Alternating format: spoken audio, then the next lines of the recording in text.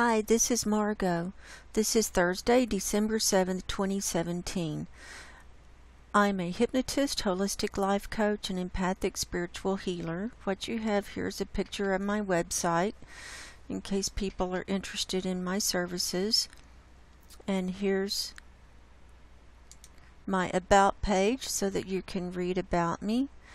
Today I'm going to talk to everyone about what I saw when I asked in meditation what the beast was. I asked this back in 1998. I was doing some exploratory meditation and just asking about what different things were. And I asked before I went into meditation, I wanted to see exactly what the beast was. And what I saw was most disturbing, and I haven't shared it with a lot of people, and I haven't shared it publicly. But now that there's so much coming out about the AI God that's being created in Silicon Valley, we're going to talk about that in a little bit. And computers are reaching singularity very quickly, and they're thinking that robots are going to take over the world. And you know, we are in that time now. We're in a huge transition phase and in a phase where things are changing very rapidly and we our human bodies are being changed because of the things that are being put in the air and the water and um, you know the food that we're eating and we are I've seen in my work that we are actually being taken over by this mechanical process and actually being robotized from the inside out. And we don't actually have to be physically chipped in order to be taken over. And there's a lot of information on this on the internet, so I'm not going to spend a lot of time going into that you can do your own research and see how we're being taken over from the inside out. But my vision, when I went into deep meditation, I saw a, a someone I saw specifically saw a woman using a, her personal computer at home and then I saw um, like uh, it was a split screen, and on the other side of the screen, I saw um, a computer on the other end, and someone, a, a guy, at the controls of the computer on the other end, and he was actually being able to control and influence the woman who was using her computer.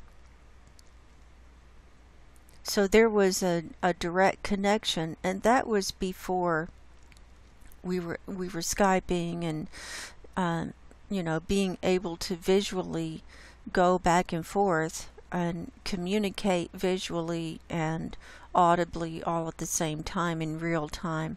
That was before all of that. This was in the fall of 1998 when I saw this.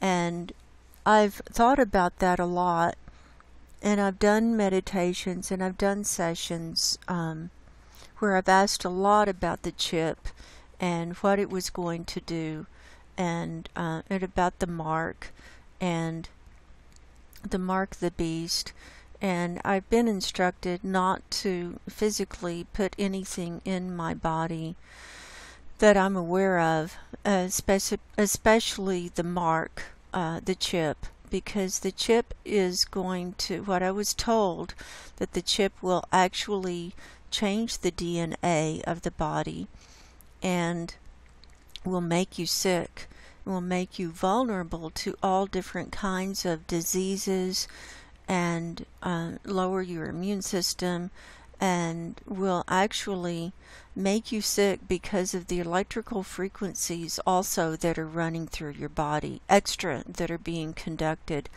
And this is absolutely what's coming out now. All of this is coming out now. And this was told to me back in 1998 and 1999 when I was asking about these things. And we're in the midst of a huge change and a lot of people are are going to um, be taken over by these things by default. And it was predicted many years ago, and Ray Kurzweil was one of them who predicted these things. Damien Broderick, who was a science fiction writer who actually who wrote a book called The Spike. And I have read parts of his book um, on my YouTube channel and put it up on my YouTube channel. I was going to read a lot of the book, but I didn't wasn't getting very many views. But this is um, here's uh, just a quote that he used from Ray Kurzweil at the beginning of chapter two of his book, The Spike: How Technology is Taking Over Our Lives. And Ray Kurzweil said um, he was quoted by R&D in R&D magazine in 1999. A threshold event will take place early in the 21st century. The emergence of machines more intelligent than their creators. By 2019, a $1,000 computer will match the processing power of the human brain about 20 million billion calculations per second. Organizing these resources, the software or intelligence will take us to 2029, by which time your average personal computer will be equivalent to a thousand human brains. Once a computer achieves a level of intelligence comparable to human intelligence, it will necessarily soar past it. The next 20 years will see far more change than the previous hundred. The key to an assessment of future trends is timing, determining how much progress can realistically be expected in particular time frames. So that's what he was quoted as saying in 1999.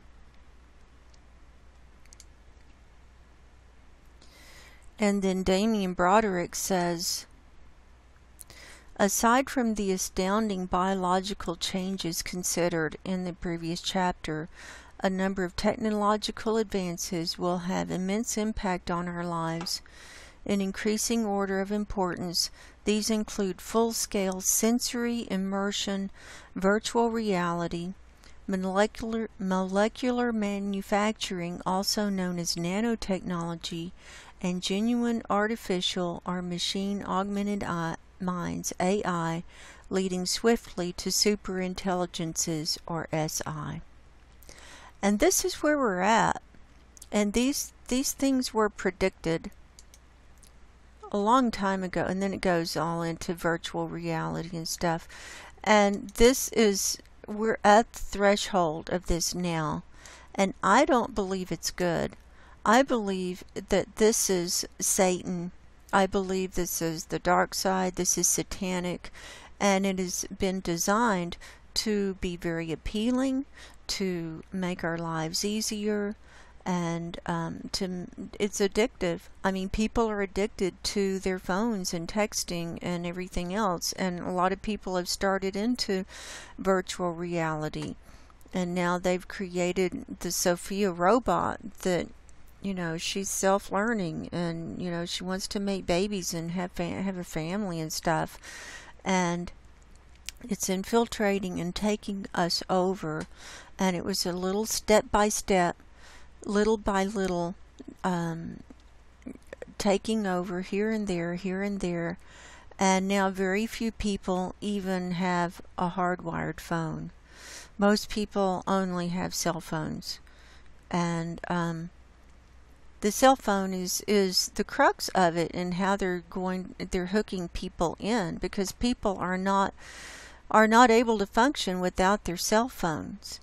So um, the beast is the computer and the computers are not necessarily bad it's how they're used and um, you know spirituality is just not kept up with technology and people have opted for technology rather than going within spiritually and connecting with the divine and connecting with God and Jesus and um, with you know their organic human part of themselves that's divine. And pretty soon it's all going to be shut off. And i'm going to share with you also today this is um, an article this is from wired magazine i'm sure people have heard about this this was from september of 2017 and this is all over the internet now. I mean, it's really hitting it big, so I thought I'd talk about it too.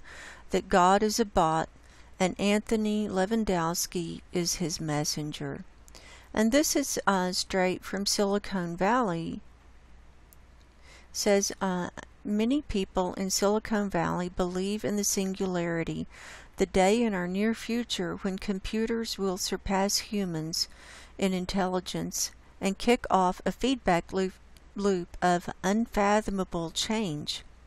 When that day comes, Anthony Levandowski will be firmly on the side of the machines. In September of 2015, the multimillionaire engineer at the heart of the trade secrets lawsuit between Uber and Waymo, Google's self driving car company, founded a religious organization called Way of the Future. Its purpose, according to previously unreported state filings, is nothing less than to develop and promote the realization of a Godhead based on artificial intelligence.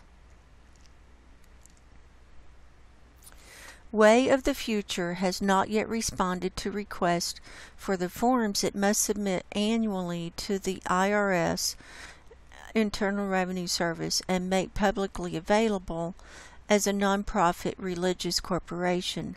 However, documents filed with California show that Levandowski is Way of the Future's CEO and president and that it aims through understanding and worship of the Godhead to contribute to the betterment of society.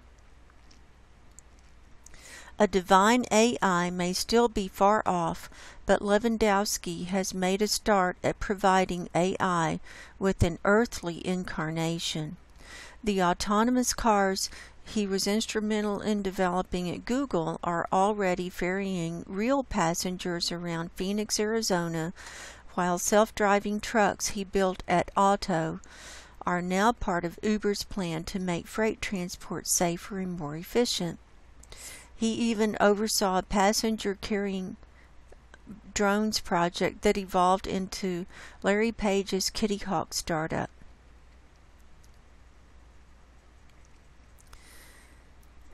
Levandowski has done perhaps more than anyone else to propel transportation toward its own singularity, a time when automated cars, trucks, and aircraft either free us from the danger and drudgery of human operation or decimate mass transit, encourage urban sprawl, and enable deadly bugs and hacks. But before any of that can happen, Levandowski must face his own face his own reckoning. In February, Waymo, the company of Google's autonomous car project turned into, filed a lawsuit against Uber. In its in its complaint, Waymo says that Levandowski tried to stealthy tried to use stealthy startups and high-tech tricks to take cash, expertise, and secrets from Google with the aim of replicating its vehicle technology at arch rival Uber. Waymo is seeking damages of nearly $1.9 billion, almost half of Google's previously unreported 4.5 billion valuation of the entire self-driving division. Uber denies any wrongdoing. Anyway, it goes on and on about that trial.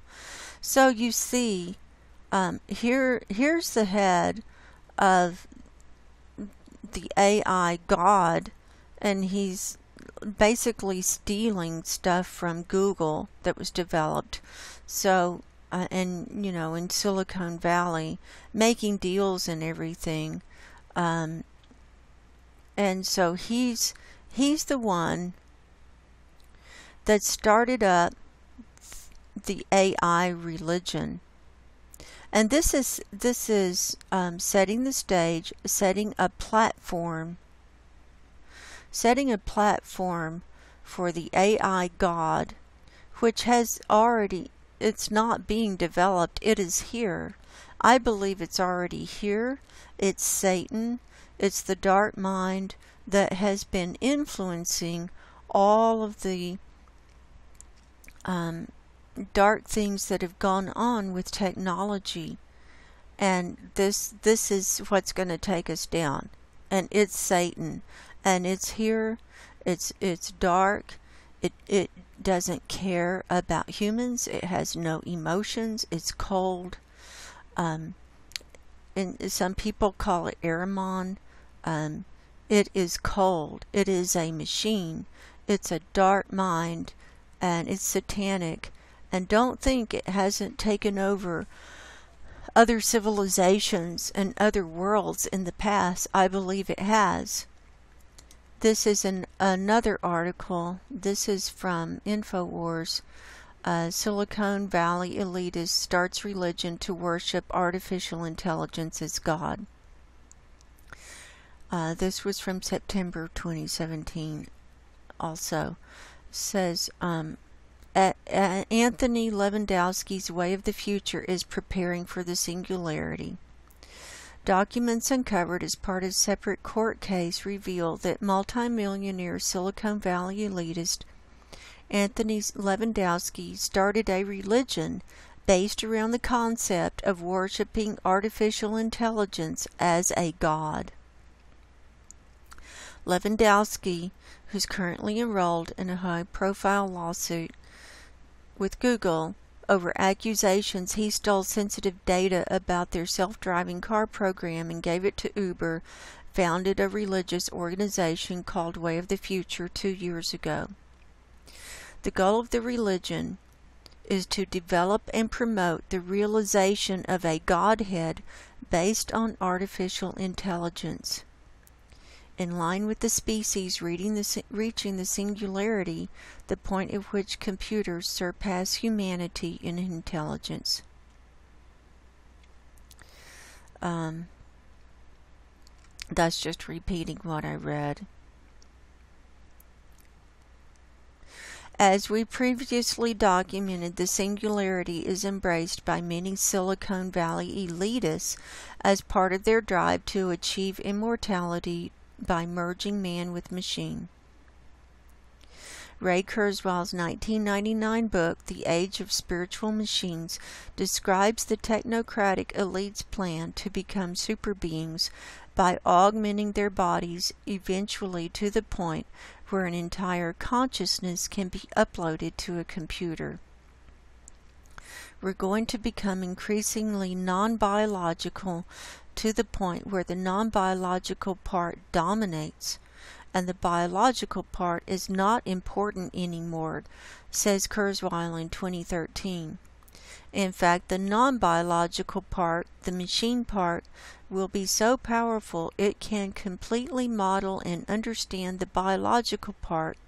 So even if that biological part went away, it wouldn't make any difference.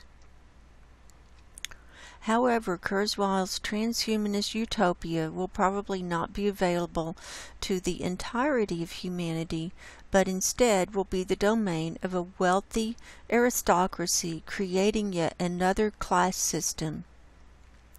Kurzweil admits this in his book, labeling those who refuse or are incapable of cybernetically augmenting themselves as moshes mostly original substrate humans. Humans who resist the pressure to alter their bodies by becoming part cyborg or are unable to afford such procedures will be ostracized from society.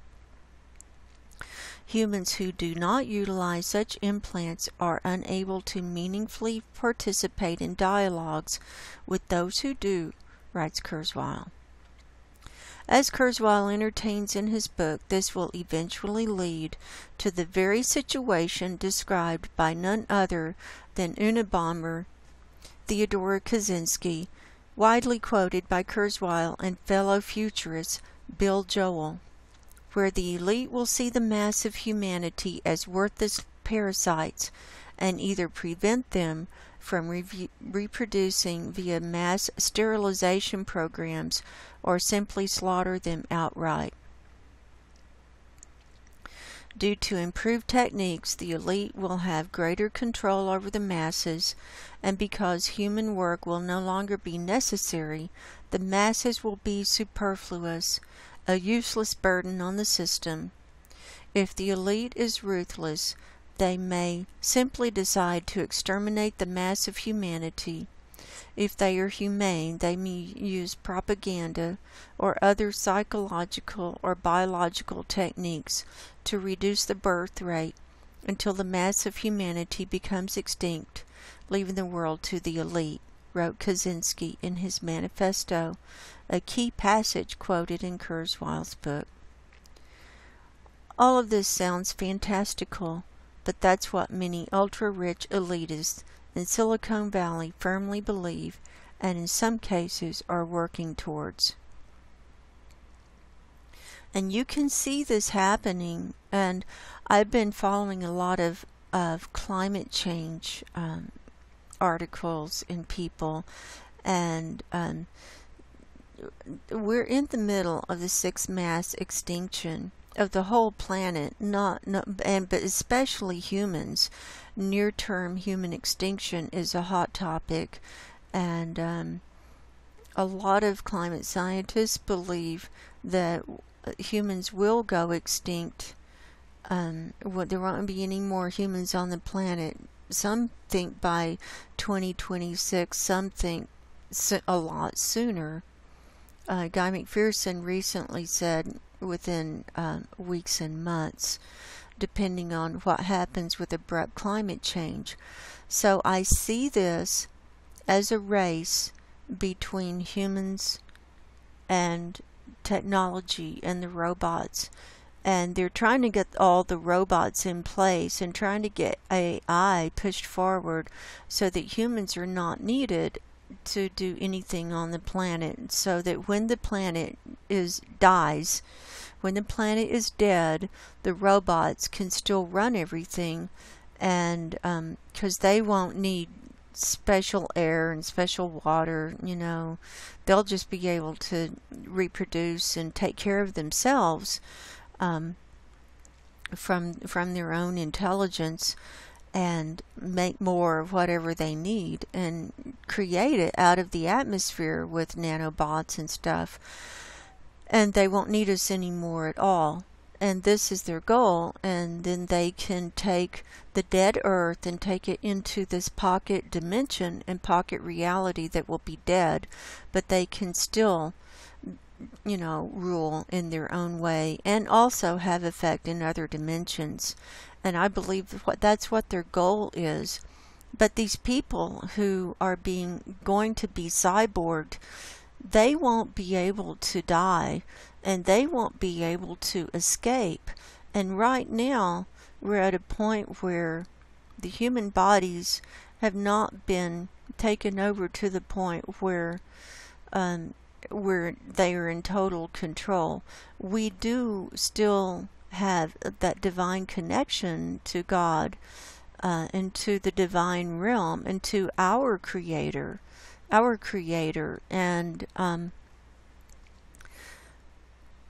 it's it's you know it's time for people to make a choice between you know whether they want to be organic humans and stay as organic as possible until we're not here anymore or if you're going to sell out and a lot of people are going to sell out by default by not making a decision. And I want to share one more article with you. This is another short one. I've been collecting these in the last month or so, a couple of months. This one is from phys.org. Move towards holy grail of computing by creation of brain-like photonic microchips. Now this is big. This is really big. Scientists have made a crucial step toward unlocking the holy grail of computing microchips that mimic the way the human brain works to store and process information. A research team, including Professor C. David Wright from the University of Exeter, have made a pioneering breakthrough by developing a photonic by developing photonic computer chips that use light rather than electricity that imitate the way the brain's synapses operate. The work, conducted by researchers from Oxford, Munster, and Exeter universities, combined phase change materials commonly found in household items such as rewritable optical discs with specially designed integrated photonic circuits to deliver a biological like synaptic response. Crucially, their photonic synapses can operate at speeds a thousand times faster than those of the human brain. The team believed that the research could pave the way for a new age of computing where machines work and think in a similar way to the human brain while at the same time exploiting the speed and power efficiency of photonic systems. The research is published in Science Advances on Wednesday, September 27, 2017. Professor Harish Bhaskaran from Oxford University and who led the team said, the development of computers that work more like human brain like the human brain, has been a holy grail of scientists for decades. Via a network of neurons and synapses, the brain can process and store vast amounts of information simultaneously using only a few tenths of watts of power. Conventional computers can't come close to this sort of performance. And there's a picture of the photon, photon, photon, photonic synapse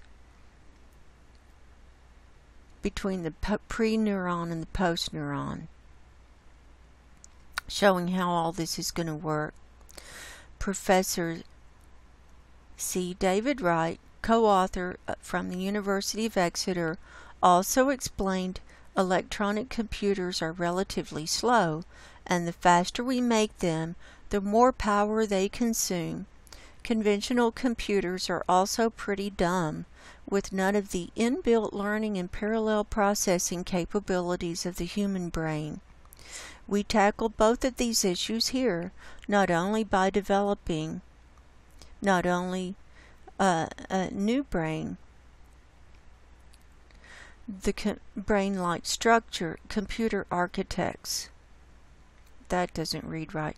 Not only by developing uh, new brain-like computer architects, but also by working in the optical domain to leverage the huge speed and power advantages of the upcoming silicon photonics revolution. Professor Wolfram Pernice, a co-author of the paper from the University of Munster, added since synapses outnumber neurons in the brain by around 10,000 to 1, any brain-like computer needs to be able to replicate some form of synaptic mimic. That is what we have done here. On-chip photonic synapse by Zengguang Cheng, Carlos Rios, Wolfram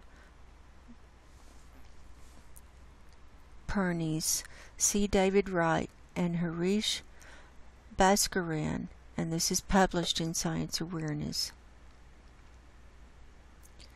So that's that article, and I'm going to put links below to all of these articles.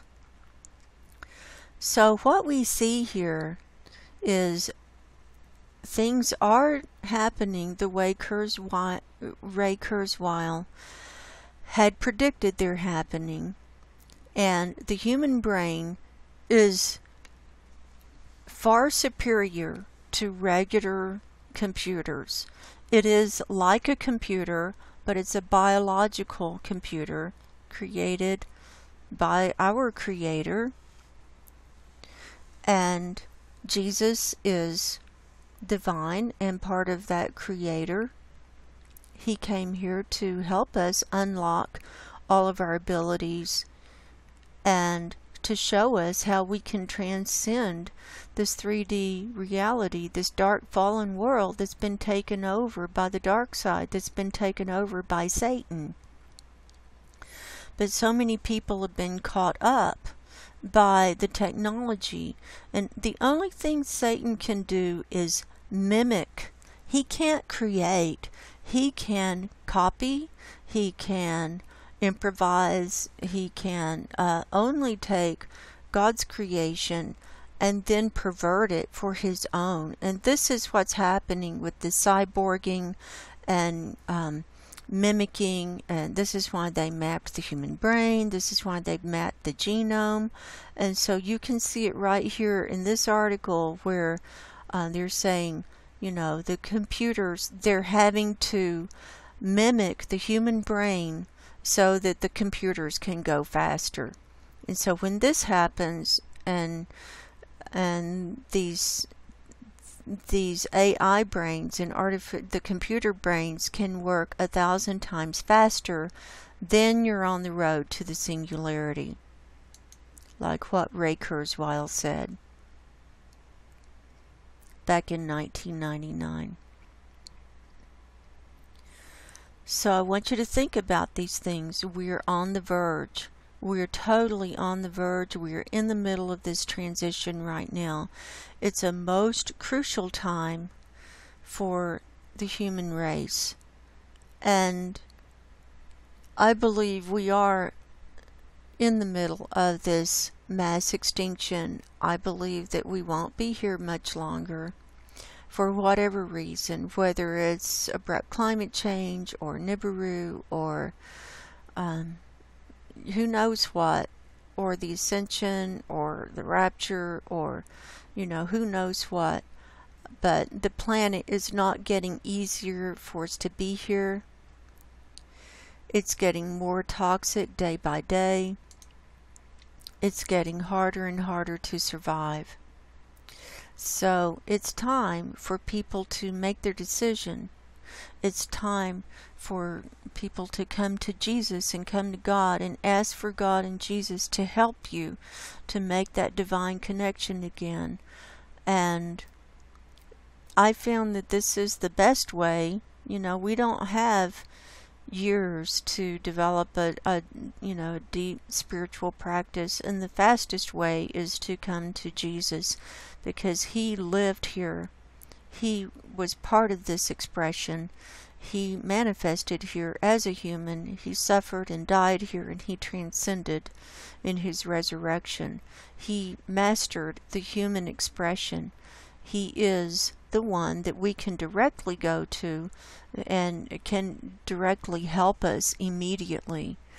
And so I invite you to think about these things and to realize that now is the time. Now is the time. A lot of people have a lot of implants. A lot of people have um, beliefs that are holding them back from doing this. And um, you know they they need some help with these things. And this is what I help people do. I'm a hypnotist holistic life coach an empathic spiritual healer. My website is margoshealingcorner.com and I'm been uh, specifically working a lot with people to remove their implants of all different kinds and help them get reconnected with their own divine connection so it's easier for them to be connected and be ready for these changes and be discerning in what's coming down. So, my name is Margo, and I wish you peace. God bless everybody, and thank you for listening and subscribing.